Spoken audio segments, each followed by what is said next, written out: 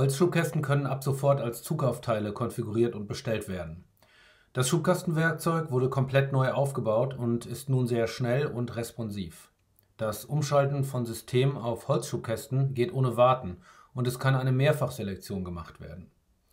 Um einen Holzschubkasten als bestellbar zu konfigurieren, wählt man in der Methodenzeile Holzschubkasten konfigurieren.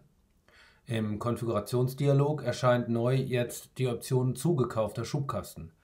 Hier kann man Beschreibung, Hersteller, Bestellnummer und Preis ausfüllen und optional gleich einen Auszug mitbestellen.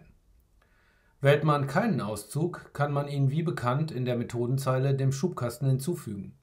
Er wird dann nicht bestellt, sondern ist Teil der Stück- und Beschlagslisten. Die gesamte Konfiguration lässt sich speichern, was ich bereits getan habe. Sobald ich mein Set auswähle, werden alle Details automatisch befüllt. Einsetzen und fertig. Wenn ich nun eine Stückliste erzeuge, werden die Auszüge nicht mit ausgegeben. In dieser Liste erscheint nur das Frontdoppel. Eine neue Stückliste für Zukaufteile findet man über den neu hinzugefügten Befehl unter Interior Cut, Dokumente, Zukaufteilliste. Hier findet man auch die Führungen, falls sie als Zukaufteile mitkonfiguriert wurden